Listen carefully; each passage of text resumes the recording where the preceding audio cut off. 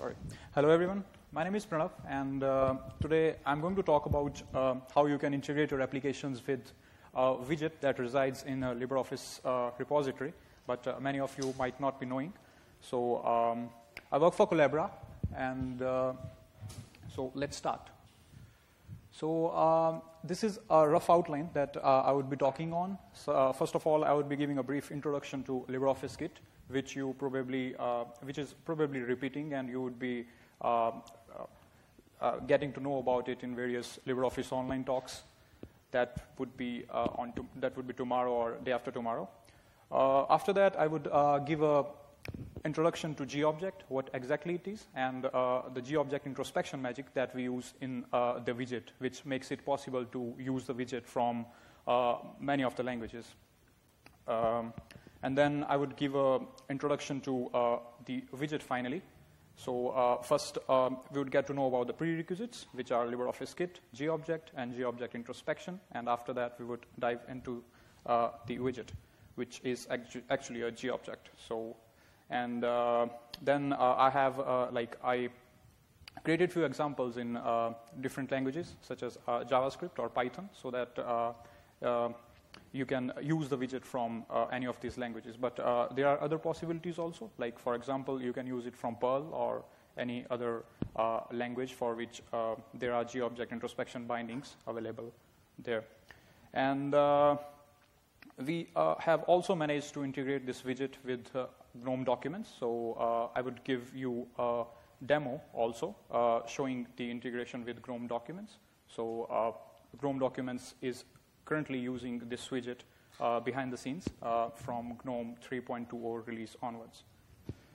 So, okay, so first thing about LibreOffice Kit what exactly it is and uh, how it is making things uh, possible, how uh, this widget is built on it, and how many of the cool products that we have like LibreOffice Online and other things are built on this. So uh, it's uh, this slide is like I have uh, this slide have is probably repeated because uh, um, LibreOffice Kit has been discussed uh, several times in um, uh, last um, in last year conferences also, and I, I, actually also gave a, a, lightning talk on this topic last year, but there have been a lot of improvements since the last year on this widget. So I decided to do a full-fledged talk on this because like uh, we finally managed to merge the work with GNOME documents in January this year. So um, that's why uh, this full-fledged talk on the complete topic.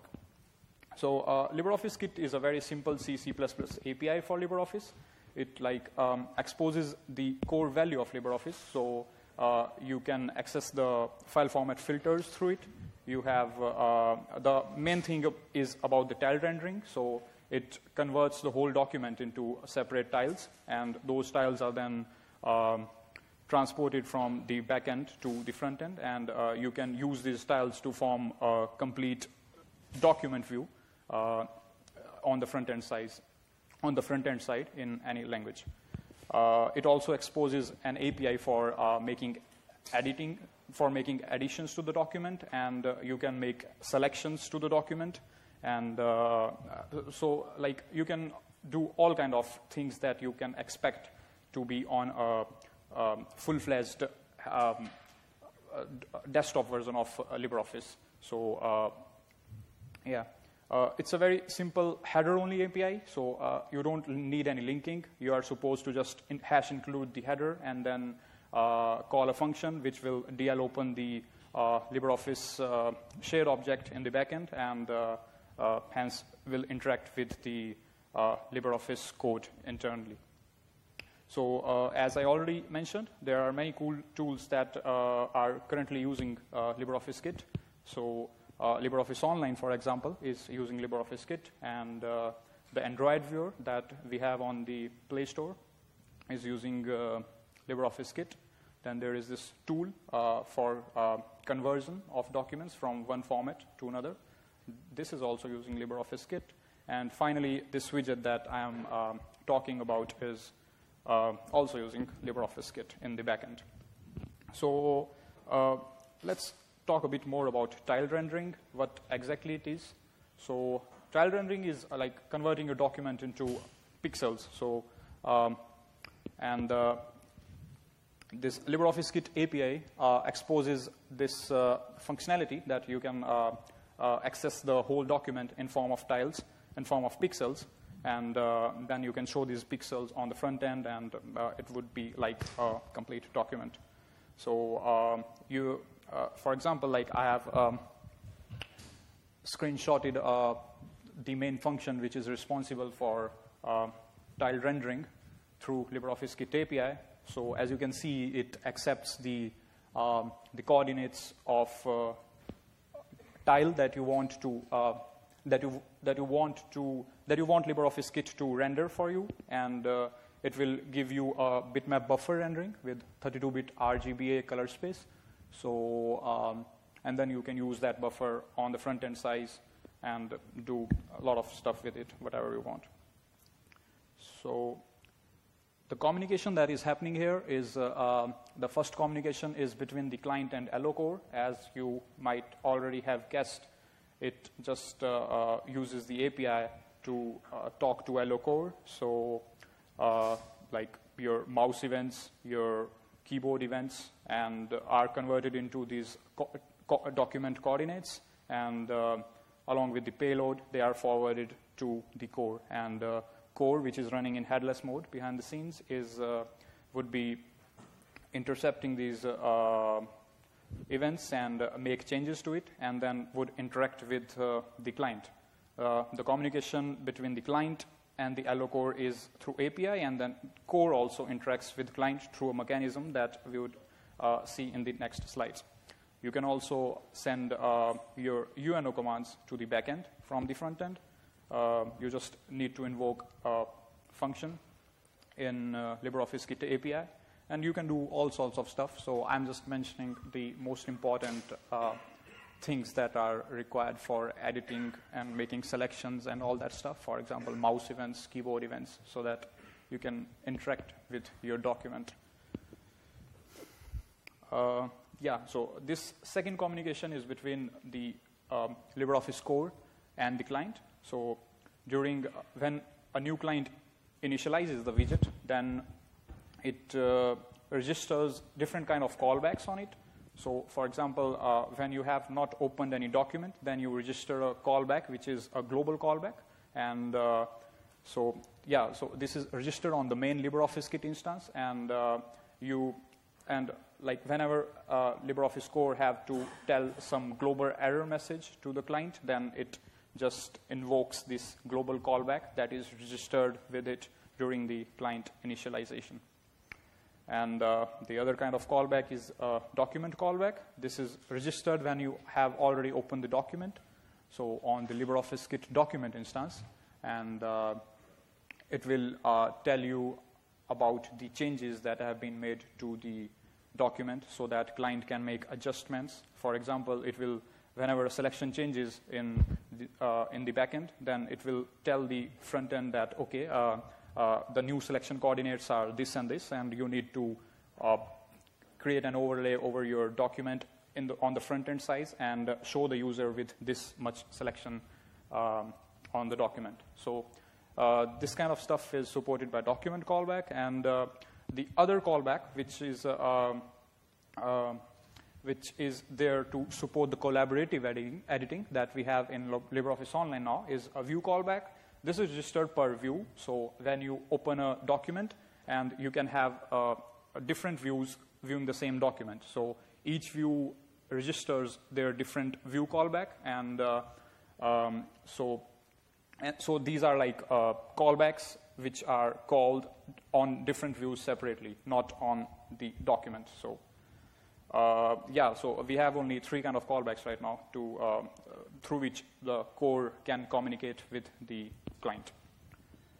Um, yeah, as mentioned before, tile invalidation, text selection, and visible cursor information, all this kind of stuff is communicated to the client through uh, the medium of these callbacks.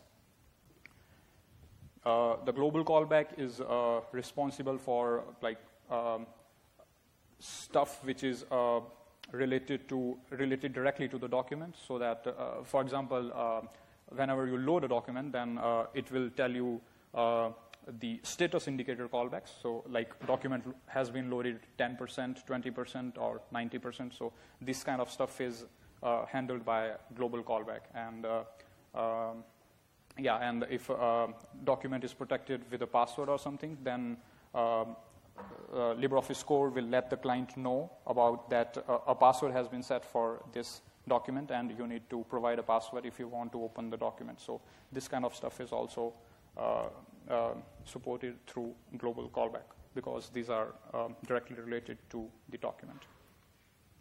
So uh, that was all about LibreOffice Kit and uh, now I will talk a little bit about GObject, what exactly it is and how this uh, widget that I would be talking about is a GObject class.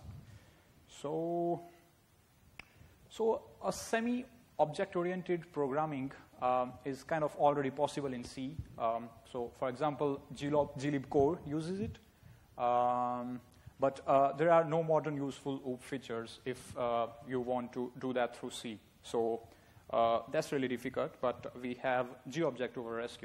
So um, glib, is actually made of three different kind of libraries. It's uh, a set of libraries. So uh, the first library that comes under glib is glib core, and uh, uh, it contains common utility functions to um, common utility functions and uh, data structure handling and all that kind of stuff. Um, and yeah, it, it, uses a semi-object-oriented kind of programming in the, I mean, the glib core. And GObject is GObject heavily uses this glib core library, and uh, it creates a framework so that you can uh, do some object-oriented programming in C language uh, using this GObject library. So uh, it has the support for um, event-driven programming and uh, event and um, all other object-oriented features that uh, we have. For example, um, for example, it it will have it will give you inheritance, virtual functions, and all that stuff in C itself. So, yeah. GIO is uh, another such library, uh, which is uh, which comes under glib, and uh, it depends on uh, GObject and glib core both. So, yeah. Um, oh, yeah. Uh, I already told most of things about it here. So. Um, yeah, it provides inheritance, virtual functions, and interfaces, reference counting, signals, and all that, all that kind of stuff that you can imagine a modern uh, programming language using a modern programming language will uh, provide. So, uh, but uh, the negative side of it is that you have to uh, use a lot of boilerplate code to support these OOP features. So you will often see these uh, widgets written using these G widgets um, using GObject classes have these lot of boilerplate codes because you need to um, support these OOP features somehow. So, and there is no multiple inheritance possible in GObject. So, yeah, much like Java. Uh, so now, now let's talk about GObject introspection. It is like um, it is the magic that we are using for uh, making for making the library um, to be used from almost um, to be used from uh, many of the languages. For example, you can use uh, the you, you can have your client in uh, JavaScript, you can have your client in Perl, Python, or any such languages which GObject introspection supports. So you don't have to write your client in C or C++. You can have your client in uh, any of these languages. It's uh, it's a it's a middleware layer between GObject classes and uh, the language bindings. So, yeah. So it's actually a set of tools to collect and extend the API metadata for GObject classes. So, um, like it, it has a scanner with it which parses the C source files and generate a format which we call GIR. This GIR format is uh, this GIR format contains uh, all the metadata about uh, your uh, widget written in C. And then there's a compiler which uh, compiles this GIR file into a binary efficient disk format, which we call a typelib file. So, um, yeah. So, because uh, the thing we use it is uh, the, we use it because the C syntax is uh, insufficient for uh, these language bindings because uh, there is no way there is no way to uh, transmit the information about ownership and uh, dynamically allocated content. For example, um, uh, I have uh, pasted this code from the widget, and uh, as you can see, there, uh, there are annotations which are written in bracket. So, for example, the first parameter of the function is ppath, and uh, the nullable thing that you can see in front of it is actually the information that, uh, that will be used for uh, creating the GIR format I discussed earlier. So, uh, in, for example, in this case, nullable means that you can have this parameter, um, you can set this parameter as null. You don't have to pass something always. You can uh, just call the function with the uh, null parameter there. And um, uh, yeah, so this is um, a, a very small list among hundreds of annotations that is supported by G-object introspection. One thing that needs that we need to take care here is because the, this annotation information is embedded into the comments. So uh, if you change the comment, then it will just change the GIR introspection format that uh, is generated. So like uh, it's not like you can change the comment to anything else and uh, expect the API to be stable. It will just break everything. So you need to be very careful about these comments, about these annotations, because uh, these comments are read by the GIR scanner, and uh, uh, so you need to be very consistent with the comments also, which is uh, unlike the case uh, with programming in other programming in uh, LibreOffice core, where if you change the command, then at least it won't break the API. So, yeah. So, like, this is a very small list among many annotations that is supported. So, for example, if you have an annotation in front of a parameter says, which says transfer none, then it means that uh, um, the parameter that you are passing is uh, uh, like, yeah, sorry. Yeah, so uh, yeah, here we can see in front of return there is transfer none. So it means that the parameter, that, that the object which is returned uh, is not supposed to be freed. So uh, uh, this, uh, this information, this metadata information is uh, embedded into the GIR format so that lang- language bindings can use it and they can know that, okay, I don't need to free what is returned to me. So uh, the other annotations are like transfer container, which means that uh, okay, uh, you can free the container, but uh, uh, uh, not the elements. You don't need to care about freeing the elements. You just need to care about freeing the container. And if you have something like transfer full, it means that you need to release the container as well the elements. So similarly, we already saw about the nullable annotation, which is used in front of parameters. So yeah, now coming to the point, uh, which is this is the name of the widget, and uh, now we already know about what LibreOffice Kit is, what GObject is, what GObject introspection is. So LOKDocView is a GObject in simple words. It's a GObject class, and since it's a GObject class, it's written in um, it's written following the GObject code conventions so that the GIR scanner can run on that source file and can create a different GIR format XML file, and that file will be read by different language bindings, and hence um, you would be able to have your client in uh, many different languages. So, yeah, it uh, it uh, it actually wraps the LibreOffice kit in a G object and uh, uh, and it exposes the all the functionality of this LibreOffice kit as a GObject library. Uh, the library is lib LibreOffice kit gtk.so. Um, yeah. So uh, a few more things about the internal structure of the widget. So um, we do all the heavy lifting in a separate thread.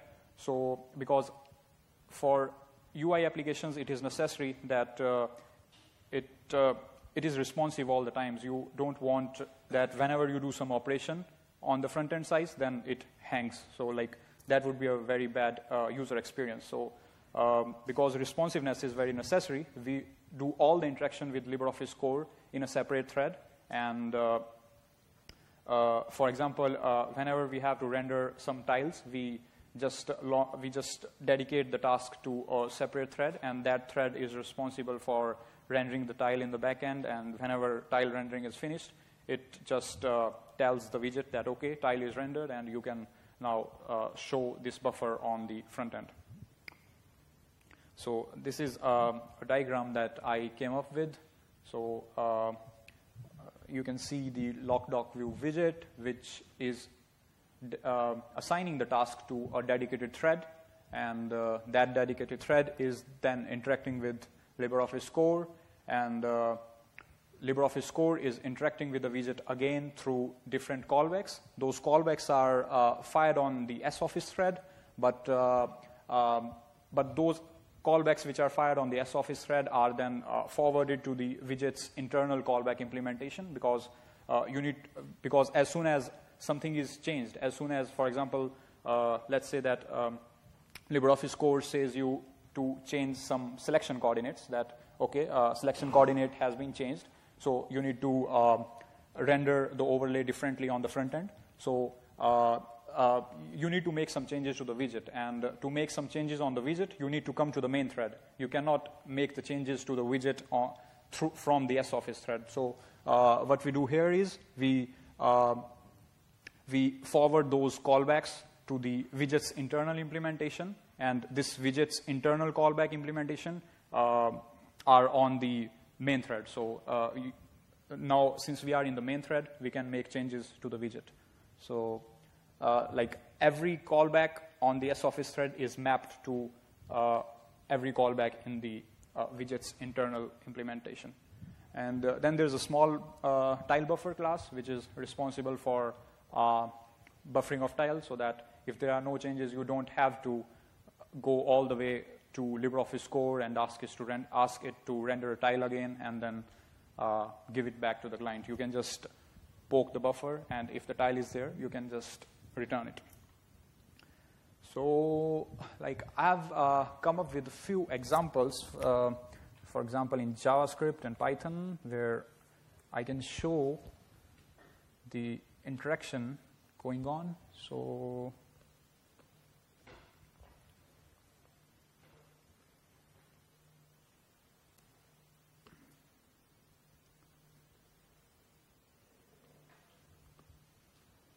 yeah.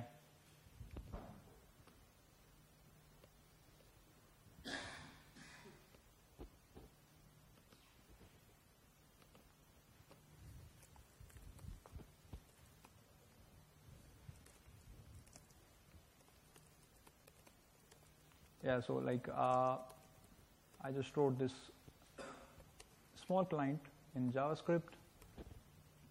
Um, yeah, so like 40 lines through which you can integrate LibreOffice in your application. So you can launch it easily like this and it will open the LibreOffice in a different window. So and then you can scroll it, and then you can also uh, edit it, make selections, and all that kind of stuff. But uh, since this is a minimal example, you can here only view the document and uh, cannot edit it because, but editing is very simple and you can just extend the example here and it will do the same. So, uh, yeah, so the next line that I just wrote a few hours ago is uh, this something written in Python, and uh, yeah, this is the same kind of thing. You just have LibreOffice embedded inside the uh, inside the client, written in Python, and uh, you can access all the functionality of LibreOffice from this thing. So um, yeah, so uh, these were like a few of the examples uh, that uh, uh, I created for the demonstration purposes, but it's like very much possible to write your client in other languages also. You can use Perl, you can use Lua, you can use, or you can have a look at the list of GObject introspection bindings available out there and can have your clients in any of the languages you want. and uh, access this LibreOffice functionality in your application. So um, just uh, a real life example that I have is now is of GNOME documents. Uh, this is the GNOME 3.2.0 release where, uh, uh, where it accesses the LibreOffice kit in the backend to opening the um, uh, to open the open office document formats. So for example, this one is uh, one of the open office document format and uh, you can see that it opened uh, LibreOffice um, inside um, uh, the GNOME Documents interface. Um, these black lines are actually some um, uh, something related to um, LibreOffice 5.0 release, but it's not there in LibreOffice 5. Uh, on the master, and so. Mm, yeah, so like uh, this was a text document, so we can similarly open a document a presentation there. We can go to a next slide. And, uh, and, and yeah, the integration code that we require is very minimal. You just need to uh, call two, three functions uh, to have to pull all the widget inside your applications, and it's done. So it's uh, nothing much work that you have to do for the integration work. Um, this is probably uh, slide. This, yeah, this is probably a spreadsheet. So yeah, you can open all kind of documents. You can, let's try zooming it. So yeah, so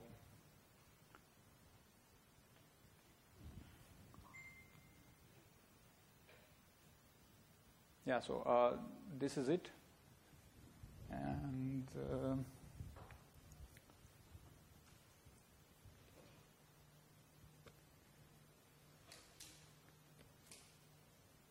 Mm-hmm.